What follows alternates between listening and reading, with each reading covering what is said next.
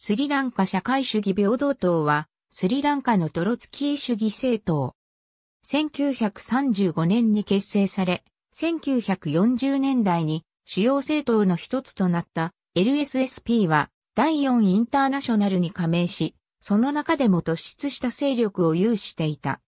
1964年、LSSP が連立政権に参加し、ソロモン・バンダラナイ家の率いる保守的なスリランカ自由党に接近すると、これに反対する第4インターナショナルと対立し、脱退した。LSSP の勢力は1970年代にピークを迎えたが、この30年間で次第に弱体化しつつある。LSSP は1935年12月8日、スリランカの独立と社会主義を目指す青年たちのグループによって結成された。LSSP はマルクス主義者を中心とする青年同盟から生まれた。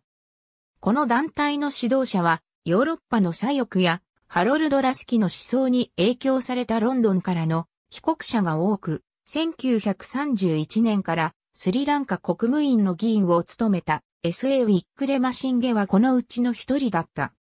青年同盟はイギリスからの独立を志向する運動を起こし、自治領より首相に強大な統治権を与えるとするミニスターズメモランダムに対する反対運動を展開した。